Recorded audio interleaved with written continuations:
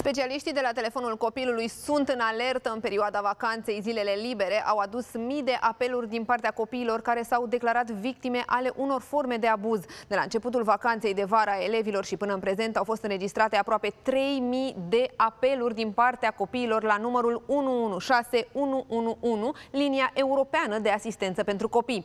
Ceea ce este și mai alarmant este faptul că aproape 20% dintre cei care au cerut ajutorul la telefonul copilului s-au plâns că au fost bătuți bătuți sau pedepsiți de părinți pentru că nu au luat note de uh, trecere la examene. 19% dintre ei au acuzat un comportament abuziv din partea părinților în urma rezultatelor considerate nesatisfăcătoare de către aceștia la evaluarea națională și admiterea la liceu.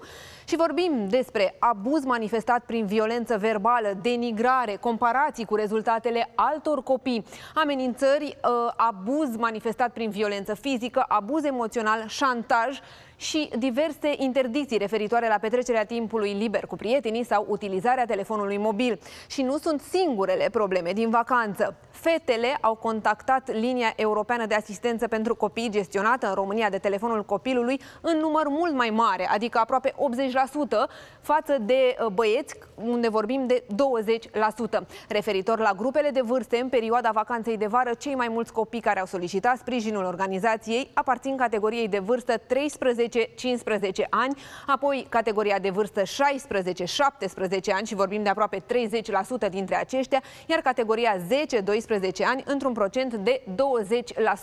Unul dintre ei copii a prezentat două sau mai multe probleme asociate sau exacerbate în perioada aceasta, adică a vacanței de vară.